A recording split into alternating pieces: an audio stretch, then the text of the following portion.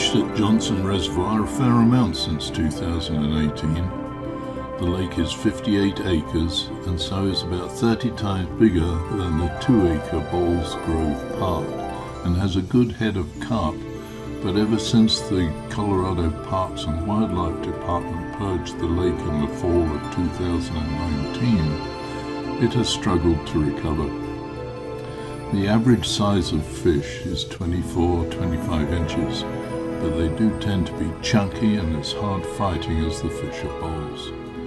Johnson Reservoir is approximately six miles west from my home in Littleton. Other than, of course, having fun, I shall be testing the recently available MAP embed feeders. The key new feature is the line group at the bottom of the feeder. MAP's idea is to secure whatever bait you use inside the feeder with feeder pellets or ground bait molded under or over it, as you can see in the picture. The journey to the swim that I took had me drive west on Bowles Avenue and then south on Wadsworth to Peakview Avenue. There, at the traffic lights, I turn left and head to Allison.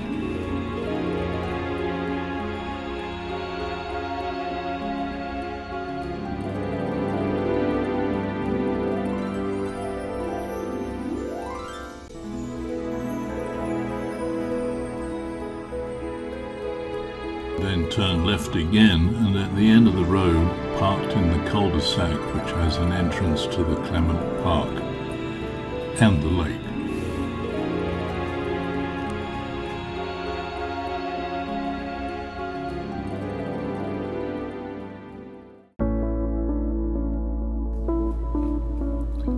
Making sure I have everything for my fishing session is important and unfortunately takes about 10 to 12 minutes.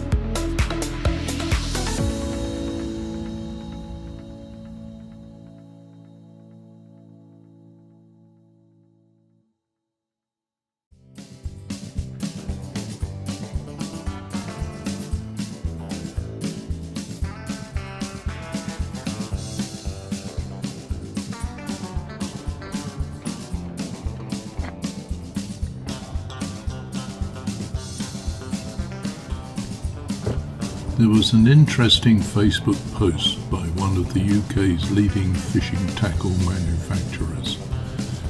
It was headlined with the question, do you take a trip around your chosen lake prior to settling on a particular swim?